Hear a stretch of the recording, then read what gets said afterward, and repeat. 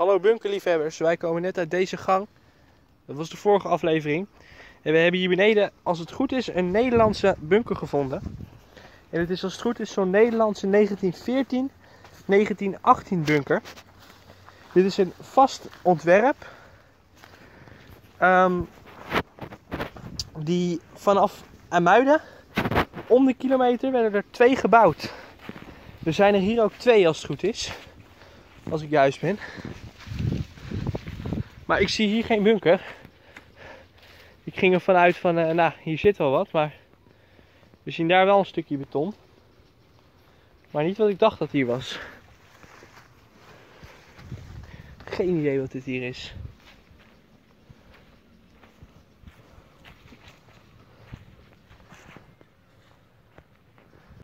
En hier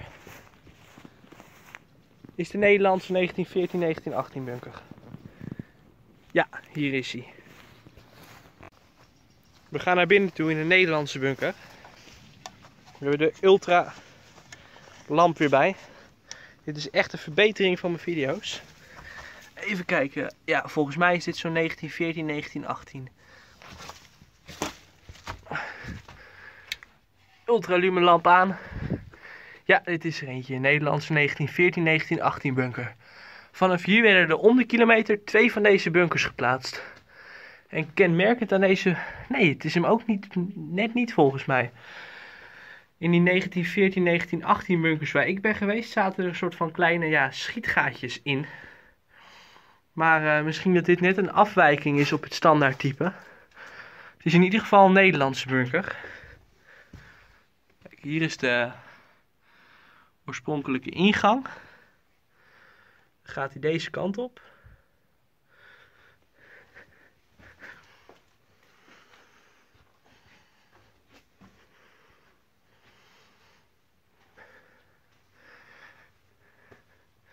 Hier komen wij binnen.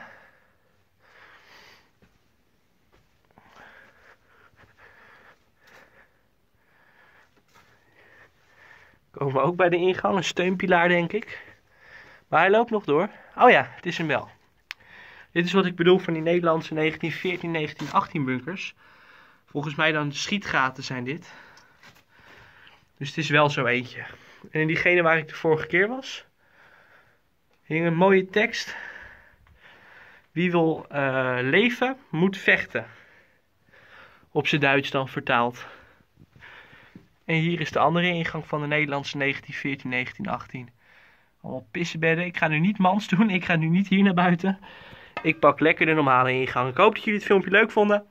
En ik zie jullie bij het volgende filmpje nog een Nederlandse bunker als het goed is. Tot morgen. Even een stukje natuurdocumentaire. Ik heb twee parende motjes op mijn uh, ultralamp zitten. Oh, stel scherp. Heel vreemd gezicht. Ze zitten met hun hoofd de andere kant op. Of een geboorte of zo. Ik heb geen idee wat ik hier zie. Biologen, natuurmensen.